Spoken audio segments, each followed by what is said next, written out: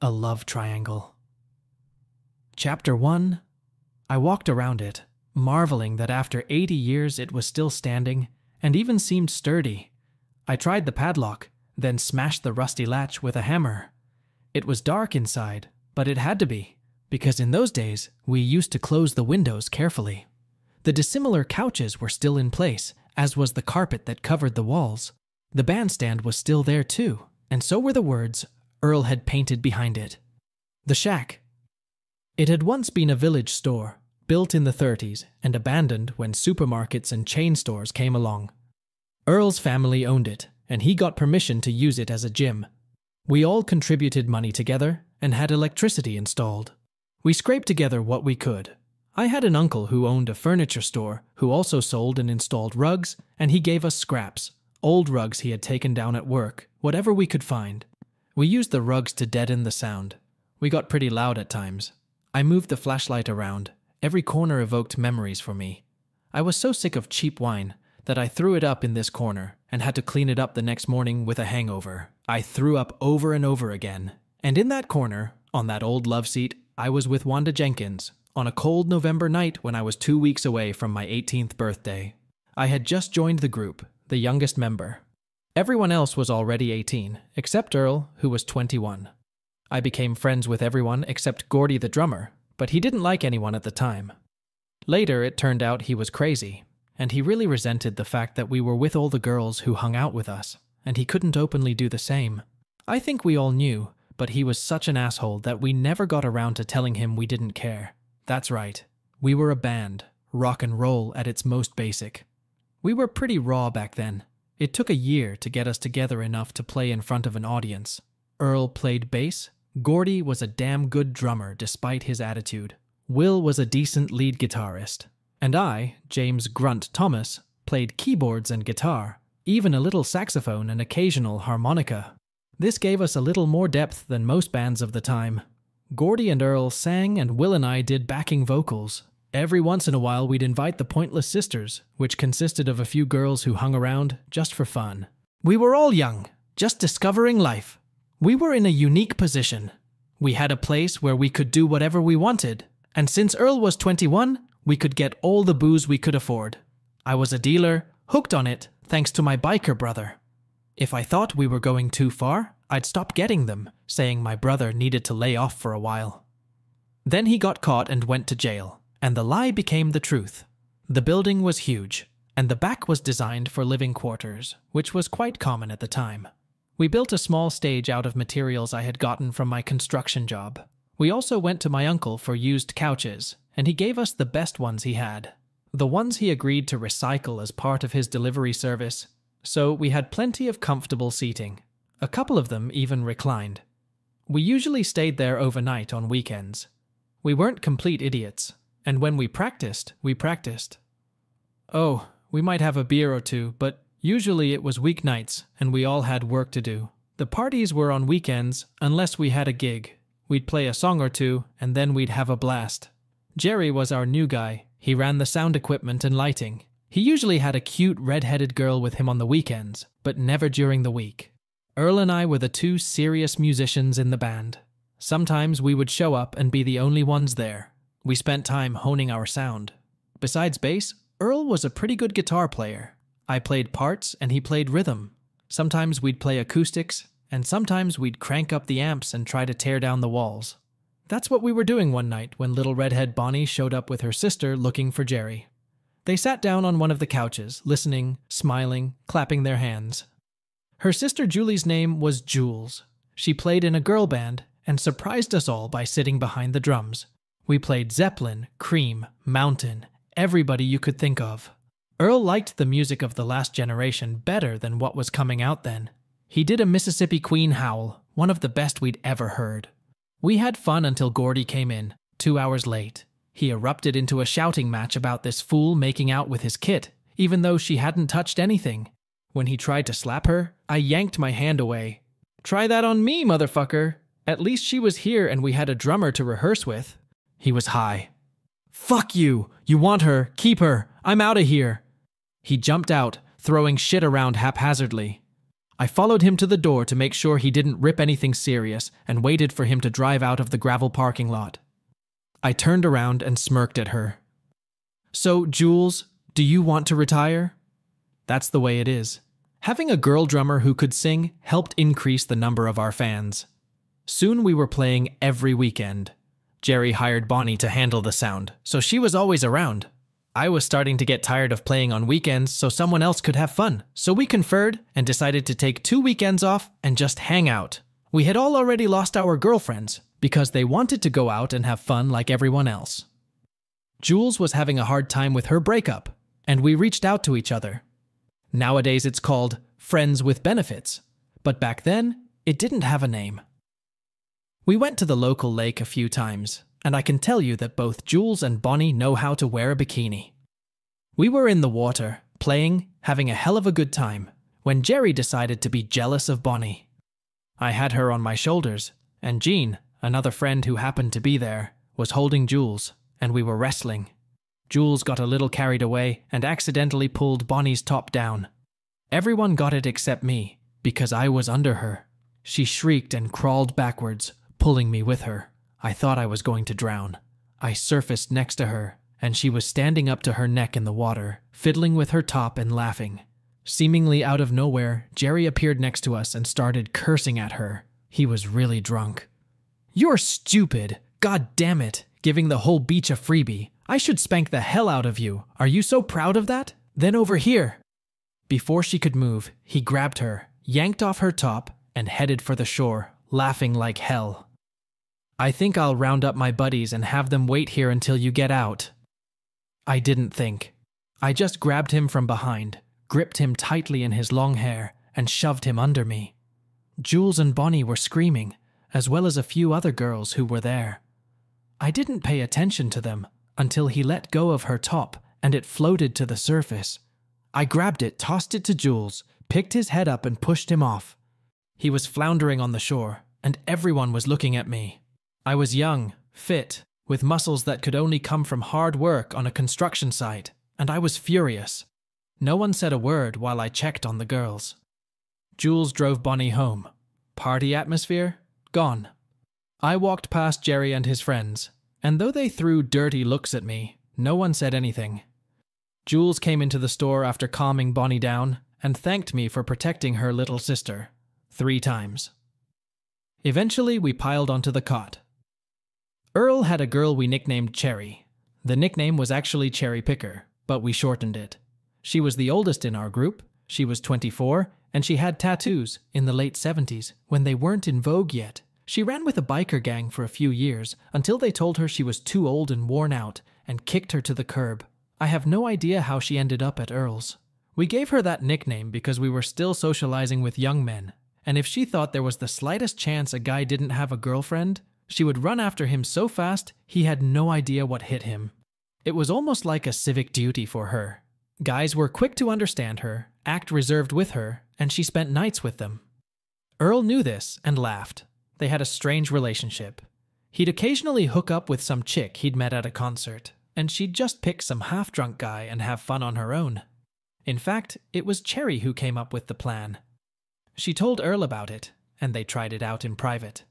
He let us get half stoned before he talked about it. Do you know what the Mazola holiday is? Of course, we had no idea, and he brought us up to speed. Well, you get a bunch of girls and guys together, put down some kind of bedding, cover it with plastic, then you pour out two or three bottles of Mazola and start sliding and sliding. If the one you slide over is ready, you're having a good time until you slide over to the other one. Wow. He was talking about the very same thing. We didn't have the internet back then, but we had dirty magazines and paperbacks and a few movies we managed to get our hands on. So we knew exactly what we were talking about. We were high at the time, so we didn't really get into it, but the seed was laid. One night I talked to Jules after we had checked out a nice night. One of her casual partners had introduced her to something interesting, and she was eager to share her knowledge. She showed me what girls like. By the third time, she was pulling my long hair, so I thought I had it all worked out. She lay on her back, panting. Damn, lover, if you've practiced on the other one, point her out to me. I need to kiss her. That was amazing. Okay, With the other one, I did the same thing I did with the game. I stuck to the basic structure, but improvised when I had the chance. We lay like that until she was recharged, me stroking her lightly until she reciprocated. Once we were satiated, we lay back down. So, have you thought about what Earl said? Of course I do. The thought of being with random women and playing with them excited me beyond belief. Hey, I was 18, a raging mass of hormones. I hadn't been in a serious relationship with anyone except Jules, and we still spent nights with other people when the opportunity arose. Yes, isn't it? Yes, I discussed it with Annette, Will's current girlfriend, and she likes the idea. We don't even need to ask Cherry her plan. Jerry will probably be in on it if he can find a girl and you let him. He's still mad because you replaced him. As for that, Rhonda and Vicky will probably join us if you ask them to. Rhonda and Vicky were just a couple of girls who hung out with us. That's what we did. I asked my uncle to give me all the old carpet padding he had in stock, and I got some very strong plastic from a construction site. Already very slippery, I wondered if either of us would be able to hold on when we put oil on it. The finished product was 12 inches high, 20 feet square, and Earl and I attached small gutters on the sides to keep the oil from spreading everywhere. The night this was to take place, the girls came with a change of clothes, having thought ahead. At work, I got a huge shower that had been thrown away because of a crack in the side. I patched it up, hooked it up to the plumbing and toilet in the back room, and we found an old water heater that still worked. It came in handy when we crashed on Sunday and had to go to work on Monday. I kept the towels in a locked drawer because I liked nice towels and everyone usually used them, leaving me with the old and fleecy ones they brought with them. Apparently, I was the only one who knew how to work the washing machine, so I washed mine and left them lying around until they were almost able to stand on their feet. They just threw them away and bought new ones. We stood awkwardly until I pulled out a bag of goodies, and afterward, cards, and we played stupid games whose goal was to get you drunk as quickly as possible. Soon, we were a bunch of giggling lumps of lust. I knew Jules well, so I tried to watch the others.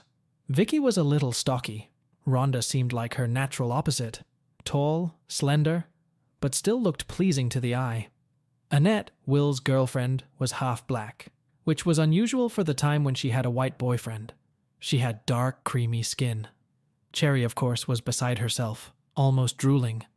Booger, I don't know how he got that nickname, our new sound guy, was alone, but since there were more girls than guys, it wasn't a problem. Jerry showed up at the last minute, also alone. We almost didn't let him in. He's high most of the time now, even ran afoul of the law. Balancing sound takes concentration, and if you're fucked up, it doesn't happen.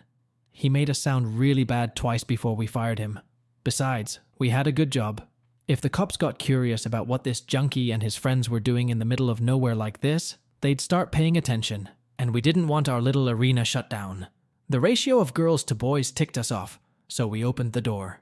Earl and Cherry started by sprinting to the other side, laughing hysterically. As soon as they were up, I grabbed Jules and we tried it.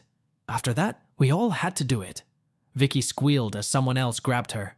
Then someone else slammed into us, knocking us off the plastic. We would jump up and dive back in, grabbing other partners. I seriously believe I was around every girl at one time or another. We stopped only to grab a fresh beer every now and then, and sipped it while watching the action. Cherry was in heaven. Things were starting to quiet down. While we were busy, Bonnie came in and undressed. She pressed herself against me, whispering in my ear, I don't want to do this. I thought I wanted to, but now I don't. Will was trying to get a grip on her, and so was Booger. If it hadn't been for Earl, things might have ended horribly. What the fuck, man? You're suddenly this? You want me to call Gordy? Earl jumped to his feet in a rage, but immediately fell back down. Finally, they pulled him to the edge, Earl and Booger took him by the arms and literally threw him out the front door. He rolled across the gravel parking lot, covered in dust and gravel from the oil. They threw his clothes out after him and locked the door. By the time most of us left, he was gone. That gave me a chance to take Bonnie into the back room. She was shaking. I thought I could do it. I really thought I could. But it was too much. I wouldn't have even hit the floor if someone hadn't pushed me. She trembled, and I pulled her to me. Finally, she calmed down. Then she giggled, looking down. How are we even going to get rid of this mess? I pulled back the curtain and showed her the shower. even opening my drawer to pull out a couple nice towels. I told her I'd stand guard, and she looked at me like I was crazy before dragging me inside. I need you to wash my back. I was pretty good at it. She said something to him, but that moment, like many I voiced and posted on Patreon, I lasted quite a while. She whimpered a little at first, but by the end she was demanding that I rub her back harder. The water was still flowing, and I looked down and saw there. She was the one. The thought made me pass out, and it was complete. You should have told me, I said when she wrinkled her nose. Why? I wanted this. How did you feel? I have no basis for comparison. You're the first one I've ever been with. I'll tell you this you were very enthusiastic, and it was great. I'm hoping to find out if it was beginner's enthusiasm or just the start of great things to come.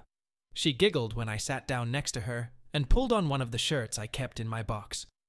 It barely covered her. Why me? I asked, snuggling up to her. Would you believe you just happened to be around? She giggled at my expression. No, honey, I wanted you to be in that spot. You're a good guy. You treat all the girls with respect. Oh, you play the game, but you don't try to pressure anyone. You're the talk of the town, baby. Besides, she said, I was in love with you from the first time I saw you. I used to get so upset when Jules would come home after being with you, giggling, hair mussed, walking a little cautiously. I knew you wouldn't hurt me. We hugged for about 20 minutes before we checked on the others. I'd always assumed that the look of someone who looked like a straggler was just a facial expression, until I saw the whole oil soaked pile in front of me. They were all perfectly fine except for Will. Jules was lying on the edge, almost comatose. We shook her a little and Bonnie helped her to the shower. They both got dressed and we left. The whole thing sure worked up an appetite. Three huge Burger Barn specials and a ton of fries later, we were finally full. By the time we got back, everyone was either gone or sprawled out on the couch. I took the girls to the back room and showed them the cot I preferred, along with the sheets. I fell asleep. We came out a few minutes later. The next morning, we woke up alone. It took some work, but I managed to get us all into the shower. There was a lot of hitting, sighing, and squealing before we were clean. Jules didn't let me get dressed. Not yet. Bonnie told me you got her cherry on the cake last night. Now you have something else to show her. I showed myself, and while she lay there and recovered, Jules made me do her. As a reward, Jules taught Bonnie how to give head. It was a long, agonizing session because Jules wouldn't let me finish the job until Bonnie did it right. What can you say about this kind of experience? Nothing. We showered again, separately, and went back to our normal lives. Earl brought it up a couple more times, but by then I was already involved with Bonnie and didn't want to share, and Jules had found what she thought was true love. Annette got pregnant, and Will turned into an asshole by not supporting her. The band didn't so much break up as dissipate. I married Bonnie, Jules lived with her boyfriend for a year until he slapped her, and she moved in with us for six months before finding true love again. Cherry was estranged from Earl, and he was glad to see her go. Fast forward five years. I was still working on a construction site and was an assistant foreman. The economy was booming, and things were going very well for me. Bonnie and I had been married for three years. She worked part time, and we took all my overtime money to pay for her tuition in the nursing program at the community college. When she graduated from college with honors, she got a weekend job as an ER nurse and continued to study until she became a registered nurse, worked in the operating room, and brought in as much or more than I did. It was my turn, and I entered the construction management field. We also managed to produce a daughter, Joy Marie. As soon as I got my degree, we had Jason Paul. We looked for and bought a house in the country, and I added to it as often as I could. And when Bonnie got pregnant again, giving birth to Jane in July, we sold it for more than twice what we paid for it. That got us into the business of reselling houses. Not like you see on these shows now, but conservatively. Bought distressed properties, remodeled and sold. I got a lot of labor from the bands I worked with at my regular job, moonlighted on weekends, and once the kids were big enough, they learned how to push brooms and take out the trash. When I was 35, Bonnie and I reviewed our finances, I quit my job, and we went full steam ahead. I bought an undervalued property on the outskirts of town and built 240 storage units. I now have six different locations, almost a thousand storage units with an 80% occupancy rate. I still kept in touch with Earl when he was in town. In fact, we remained a close knit group throughout our lives. Four years after the group broke up, we all went on vacation together. Earl, his new girlfriend Bonnie and me, Jules, and her current lover. We were in Daytona Beach a few months after the rally, and it was pretty quiet. We had tickets to see Out Cold, a very good band in their day, but now on the rise. They've gone from being headliners in huge arenas to doing smaller venues. They cancelled the concert because of personnel problems. Apparently, their bass player got high, trashed a motel room, beat up one of the cops who came to arrest him, threw a girl out of a car, and took off. It was a Friday night, and traffic on Main Street was heavy. They literally walked down the sidewalk, yanked him out of the car, and arrested him. He was charged with so many things, and bail was so high that the band refused to post it. As a result, they held open auditions the next morning, trying to find someone to fill a spot on the night's show. Dude, you should try it. If nothing else, it'll make a good story. What have you got to lose? We had to almost drag him to the audition. Four people tried out in front of Earl, but only one was worthwhile, and that one was kind of mechanical. They handed Earl an old Fender Precision, plugged it in, and started playing. It was a song we used to play back home. Earl didn't miss a note. We played the next two songs, and he did even better. Then they ran two songs he wasn't familiar with, and he missed a couple notes. Five more guys were waiting to try out, but the auditions were closed. Out Cold had a new bass player. They offered him a contract for 12 gigs to see if he was a good fit and could handle the road life. Three gigs a week would bring him more money than three months at a regular job at home. After they were done with business, they asked him if he knew of a guitarist who could help them that night. Their rhythm guitarist had gotten over food poisoning, and they needed someone to play three or four songs to give him a rest. Earl told them, I know four of their songs. That night, I finally got to see what it was like to play in front of a large audience. I was scared to death. I rehearsed with them during the day, and they crammed all four songs into a mid set. I was playing, and the regular guitarist was puking in a bucket. Apparently, that was all he needed to recuperate and finish the night. I have many photos taken during my only claim to rock warrior status. Earl continued to play with them for another 10 years. He joined the band at just the right time. They had a new guitarist five months earlier, and he and Earl worked together as the new guys in the band. They settled in the same room and soon began writing music. Four of their songs made it to the next album. This restarted their career, and they started performing in stadiums again. Over the next 10 years, they recorded four more albums, and at the end, they released a best of compilation, volumes 1 and 2. The first contained recordings before Earl and Jason, and the second was mostly of themselves. Booger became a financial planner, and Earl invested a lot of money in him. When the group broke up, his investment was a million seven, not counting other assets like the 4,000 square foot house I built for him and the piece of land he bought from his family. Earl got married once, and it lasted about a year. She tried to make it ugly, but all the stuff he made her sign did the trick. She complained that she didn't really understand what she was signing, and the lawyers didn't sympathize with her. The children were grown, all self sufficient, and the older two had started families. Bonnie didn't think she would enjoy being a grandmother, but once she got a glimpse of her first child, she immediately jumped at the chance. We left them at our house a lot. I think she would have moved in with them if she could have done that. She stopped working when our business could support us, helping me in any way she could, coordinating crews, making sure we had the right permits, until she knew almost as much about construction as I did.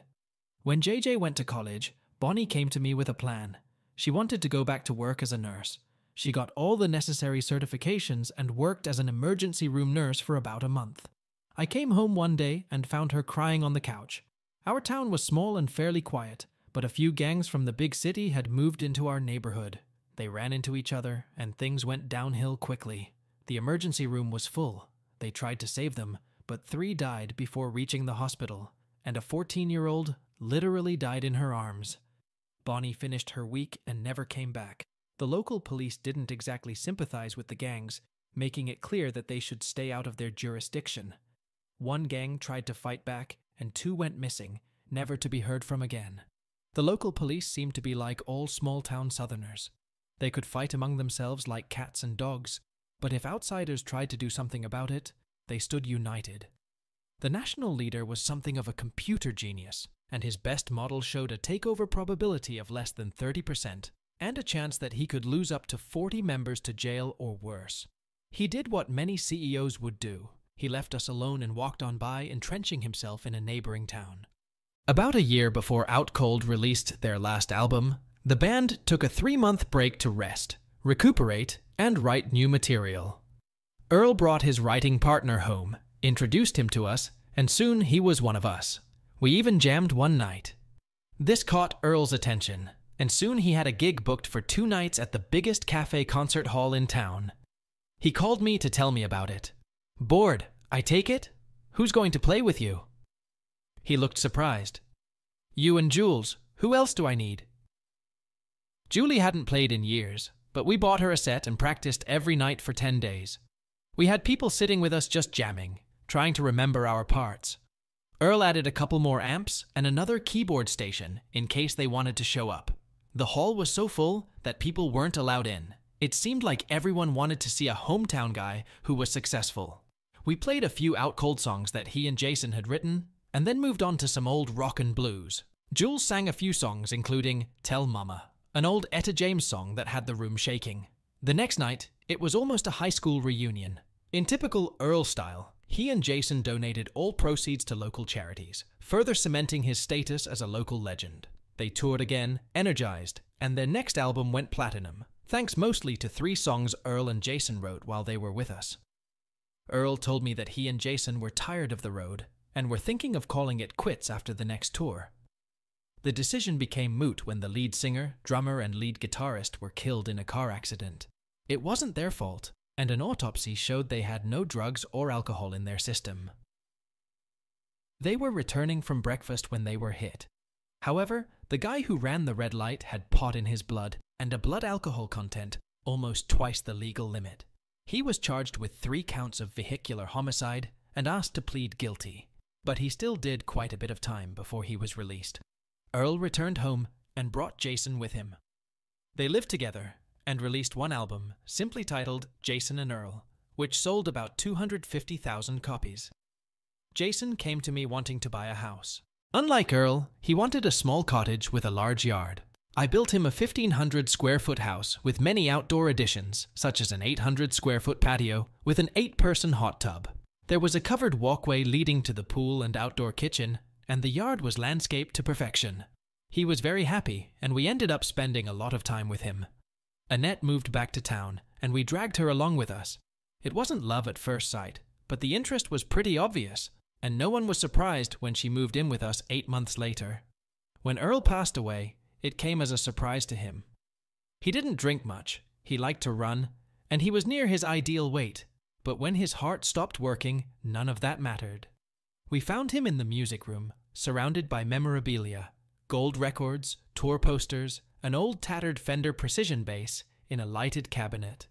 He was just writing a new song and turned on the recorder. We heard his last breath and his last words in this life. What the fuck? There was a lot about him in the papers, and the funeral was packed. Sure, he was a minor celebrity, but most came because they genuinely liked him, just a good boy like the rest of us, who happened to be good. To my surprise, I was appointed executor of his estate, and he had a pretty detailed will. He left Jason all the things left behind from their life together. He left a few of his friends small memories. He left me his old bass and love shack along with the nine acres of land it stood on. He left me a letter. Grumble. Oh shit. So I'm dead, huh? I thought I was gonna outlive all of you. We had some good times, didn't we, brother? Best part of my life was when we played in that old building. I bought it from my family when they wanted to sell it to a developer. I wanted you to have it if something happened to me because you'd appreciate it more than anyone else. Maybe you could throw a party in Earl Mazola's honor. It would bring back memories, wouldn't it? I hope to see you again someday. Maybe we can jam with Hendrix or B.B. King. Tell Julie and Bonnie that I asked to keep an eye on you, and that I love them like the sisters I never had, although I have had carnal thoughts about them. Later, brother, Earl. I was reading the letter in my office, and Jules and Bonnie were with me. I am not ashamed to say that tears flowed down all of us, most of his estate, nearly $3 million in real estate and investments, went to the county to be used for the sole purpose of expanding children's activities and renovating two parks. Typical Earl. At the entrance to the park, which was renamed in his honor, stands a life size bronze figure of him holding his bass. I came home after looking at the cabin and told Bonnie that it wasn't in bad shape, but I wasn't sure what I wanted to do with it. Bonnie and Jules said they would take a look at it and maybe we could make a decision. Projects started piling up. We had survived the tough years, even buying some distressed properties here and there, and now the economy was booming and people needed homes. I built four new houses, remodeled eight more, and bought more when the opportunity presented itself. Jules seemed to always be at my house, and the girls seemed to be in good spirits and laughing at things I didn't understand. On Wednesday, they demanded that I not work on Saturday, no matter how far behind we were. We had been working six days a week for 14 weeks, and we all needed a break. I ended up letting the entire team go Friday and Saturday, paying them for Friday to get a full check. I immediately became the best boss in the world, at least until Monday. Julie was living with us again. Her last relationship collapsed. She still looked good. She had a good figure and a pretty face, even if it had a few wrinkles. She was a loving, kind woman who just seemed to fall for the wrong guys. We joked that I should make her my second wife. She moved into the spare bedroom and made herself comfortable. Julie didn't have the drive that Bonnie had and just bounced from job to job until Bonnie scolded her and put her in charge of the property. She surprised us all by doing a great job. A few months later, she came to us with an offer to take over a failed project. Eleven new homes, all but two of which had been completed.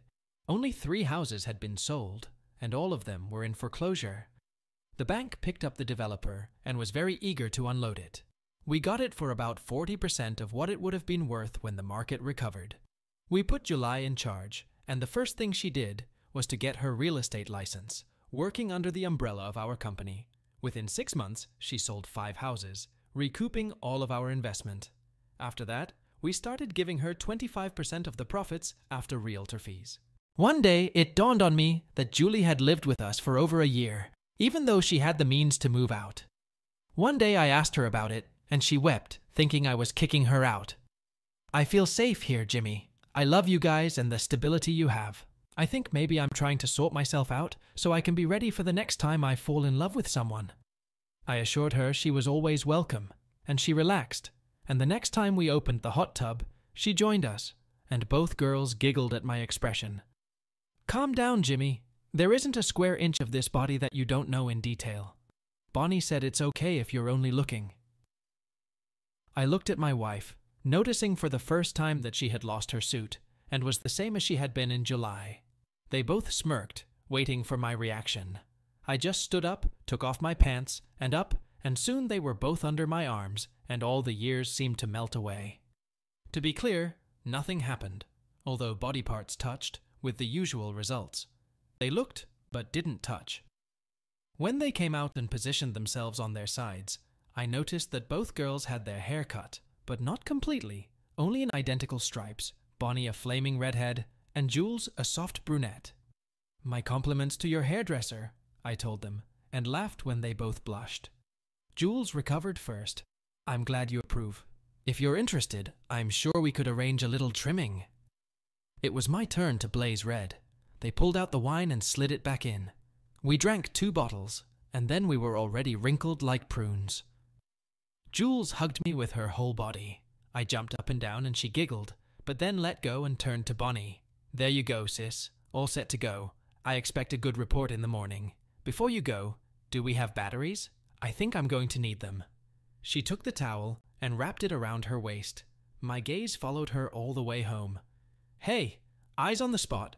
Let's go see if we can't do something to take the edge off. What do you say? I lifted her into my arms. Surprising her, I plopped her down on the table. Bonnie let out a light shriek. Feeling eyes on me, I looked up and saw Jules standing in the patio doorway. When Bonnie recovered enough for me to help her up from the table, Jules was gone. Something was wrong. I could feel it. You can't live with someone for decades and not pick up their vibe. Both my girls walked around and smiled secretly, making incomprehensible hints about something I knew nothing about. This sort of thing in the hot tub was almost standard by now and Jules was getting bolder and bolder, and Bonnie seemed to be encouraging her. We'd had a little too much wine, and I was a little stoned and slow witted. Jules sat on the edge of the hot tub across from me and started doing something. I remembered that she was pretty vocal. It got interesting when she started humming. Gimme, gimme, gimme! She exploded and slid bonelessly into the tub. Bonnie had been stroking me the whole time. Bonnie was panting softly, letting me know she was getting close. Jules giggled and sank down beside me. Bonnie stood up, looked at us, and grinned, then slid into the tub and reached out for Jules's hand, her eyes widening before she added her own hand. Finally, I pushed them both away, climbing out of the tub. They just watched and giggled, waiting. Okay, spit it out. What's going on here? I know you're sending some kind of message, so take pity on the slumbering man and spill it out. They looked at each other, and the smiles slid off their faces. Bonnie started, but Jules stopped her. Grumpy, honey, come back. Make yourself comfortable, and we'll tell you our thoughts. Just promise us you'll listen. Finally, I lowered myself into the tub, and they pressed themselves against me, holding their hands above the water. Honey, how many years has Jules lived with us? Don't answer that. It's been many times. This time it's almost two years. She paused, looking at Jules before continuing. The reason she hasn't moved out is because she's home. She loves us, and we love her. But, honey, she's a mature woman. She has needs. All the men she's had in the past just didn't reach that level, and you were the yardstick she used. We've been talking about this for a long time. We have come to the following decision. First, she stays here, and second, she will be your second wife, with all the benefits and responsibilities of a wife. I can share you because I know you will never betray me, and we will be together for the rest of our lives. Jules has always loved you, and you have always loved her. It's a win win for everyone. Wow, I didn't expect that to happen. I just stared at them until they lowered their eyes, fidgeting nervously. So, you've thought of everything, but you missed a few points. First of all, Bonnie, I've had a few moments of Jimmy Carter lusting after my heart, especially Jules, but I've never even considered backing away from our vows. Besides, with all the added benefits come added responsibilities. Now I'll have two women to berate me, point out my flaws, run my life without my input, just like you are now. I know you've decided that two hot women will be a distraction for the rest of my life, but I'm at the age where not all the blood drains away from my brain. I'll think about it, but if, and that's a big if I do, Jules, I'll consider you as much of a wife as Bonnie. And Bonnie, you'll have to accept that you no longer have my undivided love and attention. There will be someone else, forever. I think I'll go for a drive now to clear my head. I left them in the bathroom, went into the house, put on shorts, sneakers, and a t shirt, jumped in the car, and just drove. I was gone for three hours, and they called at least ten times, all of which I ignored. When I got back, they were a pretty low key couple. Living room now. I didn't even look to see if they were following me. They were sitting on the couch, patting themselves on the spot in the middle. I sat down in the chair across from them. What led to this? Jules looked sad and sighed. Do you have any idea how many losers there are in our age group? A great many. Most of them have been through at least one rough divorce, some have kids who decide to make your life hell because you took daddy away. Some are just perverts. And if there are any good ones, they're quickly snatched up.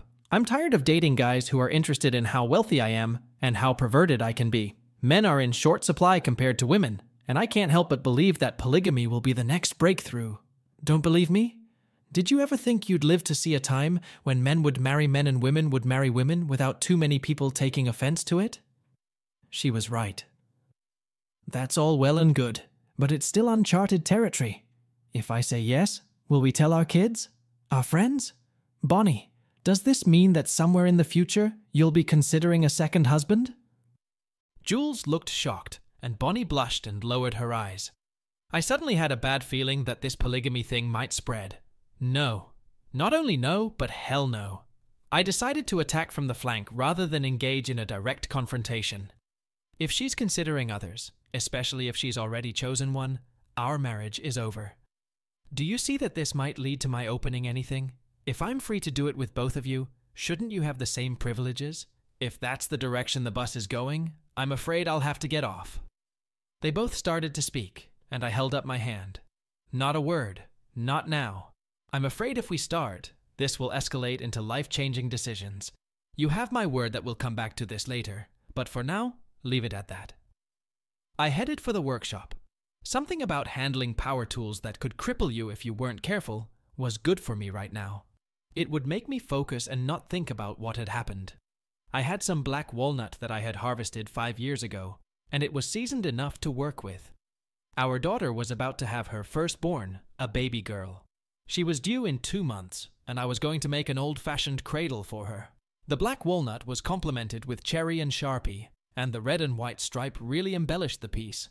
I even made one hollow part of the cradle very long, as in the original. The women would sit in the rockers and sew or do other chores with their foot on the long rocking wheel of the cradle. Each time the rocking wheel moved forward, the woman's foot would press on the cradle, causing it to rock to the beat. Joy was very excited and angry with me for not letting her see it until after she had the baby. I was smiling as I worked. Joy was very excited about the baby, and her husband, a good man, was over the moon. He was an only child, and his only requirement in their marriage was that they have at least three children. Joy grinned when he told her that. Really? You're going to shy away from three? I thought I was marrying a real man. They've already picked out names for the four. Finally, I stopped, admiring the cradle that sat in the clamps, waiting for the glue to dry.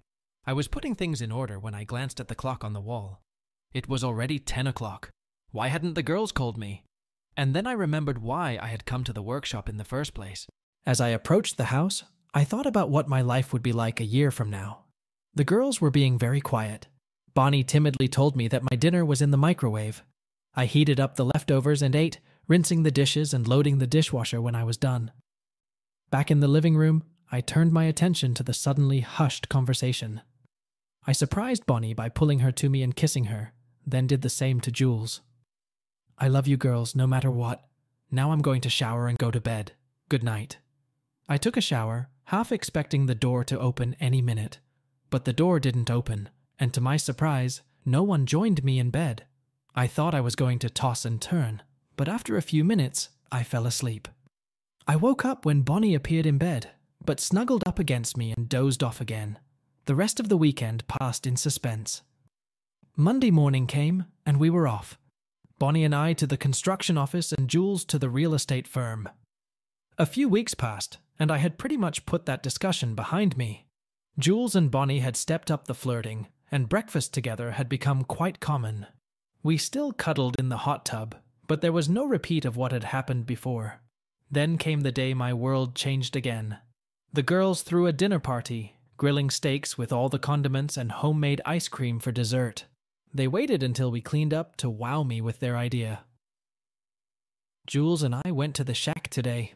It brought back a lot of memories, it's a shame to let this lovely old building go to waste, and we've been thinking about redecorating and updating it a bit. We thought we could turn it into a small private club and rent it out for events. We could put a few acres of land around it for outdoor events, put picnic tables and a small bandstand. It could be used for outdoor weddings if we renovate everything properly. The interior is quite large, so we could open up some walls, update the plumbing, and have separate bathrooms. We could rent it out for retreats, private meetings, and even put a small bar in there. What do you think? I think you've thought this through carefully. I assume you have hard numbers and plans for the necessary permits. Who will be handling this? Jules pronounced. We've done most of the preliminary work, including the necessary zoning. It shouldn't be difficult. There's mostly farmland around anyway. I'm sure the commissioners will be happy to add to the tax base. I have yet to find out what kind of insurance is required for this kind of activity, and I'm willing to bet it will be pretty high but we want to get as much coverage as possible. Bonnie jumped up. The work will be done by our crews. I don't like the idea of using outsiders, and we'll have to bring in an architect. We have to make sure the remodeling will include load bearing walls and such. Why are you trying so hard to sell this? Because this place is titled in your name. Earl left it to you, not us. Anything we do has to be with your written permission. I told them I would think about it. Their disappointment was obvious. I think they expected me to nod and say, Whatever you want, dear. Two weeks later, they presented me with their plans. With a little remodeling and perhaps some expansion, they could make it a very nice place for weddings, reunions, and the like. There will still be a small bar, but on the advice of the insurance agent, only so that guests will have somewhere to stock up on alcohol.